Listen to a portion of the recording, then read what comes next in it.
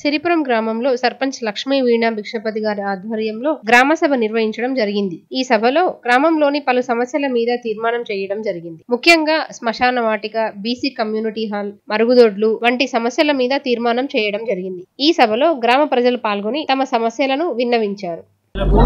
మరియు గ్రామ పంచాయతీ పాలక మండలి మరియు రెవెన్యూ ఆఫీసర్స్ మరియు అంగన్వాడీ మరియు ఆశా కార్యకర్తలు ఇక్కడికి వచ్చిన వాళ్ళందరికీ నమస్కారాలు.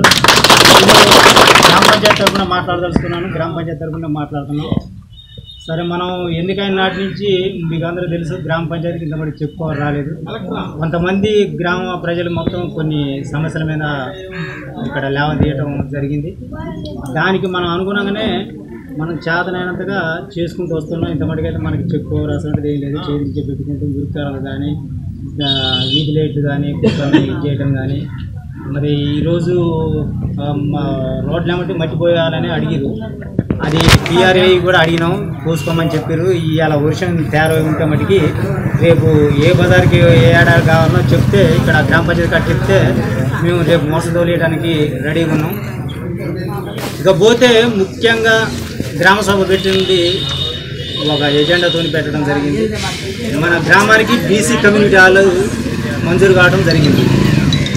అది గత ఎమ్మెల్యే సిడిపి నిధుల నుంచి కాన్స్టిట్యున్సీ నిధుల నుంచి పెట్టడం జరిగింది ఐదు లక్షలు. అది అప్పుడు కట్టలేదు. ఇప్పుడు దానికి కలెక్టర్ గారు కొంచెం ఎక్స్టెన్షన్ ఇచ్చి సరే పదిహేను ఇరవై తారీఖులోపు ఎవరైతే కన్స్ట్రక్షన్ మొదలు పెడతారో వాళ్ళకి క్యాన్సిల్ కాకుండా చేద్దాం అనేది మాకు ఇంటిమేషన్ చేయడం జరిగింది. దానికి అనుగుణంగానే ఇక్కడ మన కేంద్రం దగ్గర మన పిఎస్సి కేంద్రం దగ్గర ఓపెన్ ప్లేస్ చూడటం జరిగింది. అది గ్రామస్తులందరినీ కొంతమంది సలహాలు తీసుకొని చేసి చేసిండు దానికి కొంతమంది కావాలని అడ్డంకులు సృష్టిస్తుంది అది ఓన్లీ కావాలనే తప్ప వేరేదైతే కాదు. మరి అది గ్రామ డెవలప్మెంట్లో ఇటువంటి జరగడం అనేది దురదృష్టకరం. మరి ఏదైనా సజెషన్ చేయడం అనేది గ్రామ పంచాయతీకి సజెషన్ చేయడం ఒక సీనియర్స్కి కానీ లేకపోతే అందరికి కూడా హక్కు ఉంది. గ్రామ పంచాయతీకి సలహాలు ఇవ్వచ్చు ఆ సలహాలు ఖచ్చితంగా మంచి అయితే గ్రామ పంచాయతీ పాలకవర్గం కూడా స్వీకరిస్తుంది. అందులో ఇంప్లిమెంటేషన్ చేయడానికి కూడా ఖచ్చితంగా ఇది ఉంటుంది. కానీ మనుషులు ఏదో పెట్టుకొని ఏదో చేద్దాం ఏదో దాన్ని అడ్డుకుందాం అనే పరిస్థితికి వస్తే అది మంచిది కాదేమో అనుకుంటున్నాను. మనం ఖచ్చితంగా ఒక విజయం కోల్పోతున్నాం కాబట్టి ఖచ్చితంగా గ్రామ డెవలప్మెంట్ కోసం రాజకీయ పోరాటం చేస్తాం.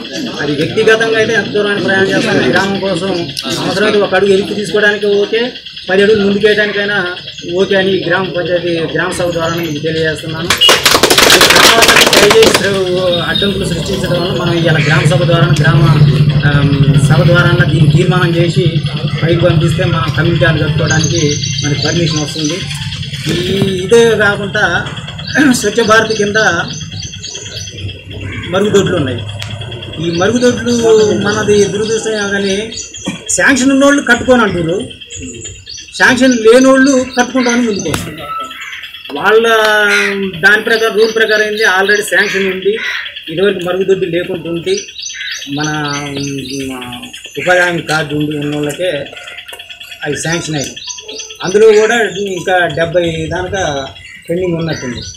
నిన్న మొన్న మేము సెక్రటరీలు కనుక ఇల్లు తిరిగి కూడా మోటివేషన్ చేసినాం.